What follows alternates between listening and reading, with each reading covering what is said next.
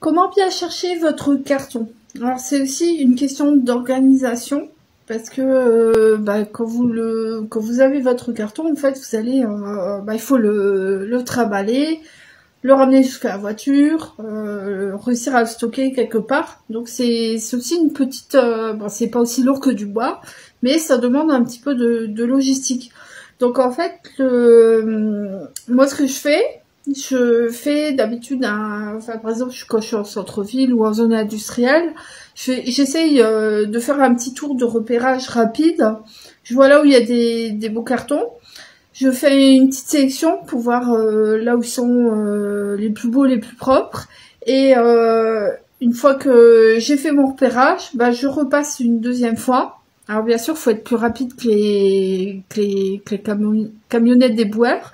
Mais une fois que j'ai fait mon repérage, eh bien, je vais aller euh, ramasser mon carton.